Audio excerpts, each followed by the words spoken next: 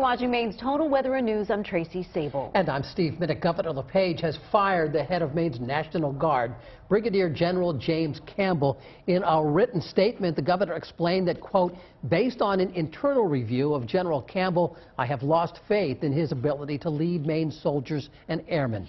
Brigadier General Gerald Bolduc will serve as the interim until a replacement is named. According to the governor's office, more than 9,000 Mainers have been removed from the state's food stamp program since Maine began enforcing work requirements last year.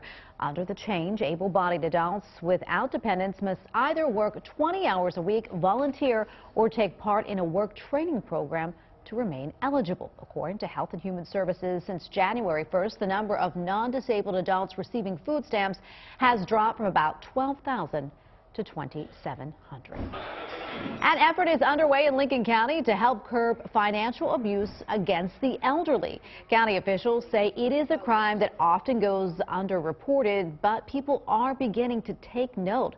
According to one detective from the Sheriff's Department, he deals with at least a couple of cases a month. He says Lincoln County is especially at risk since it has one of the oldest populations in the state.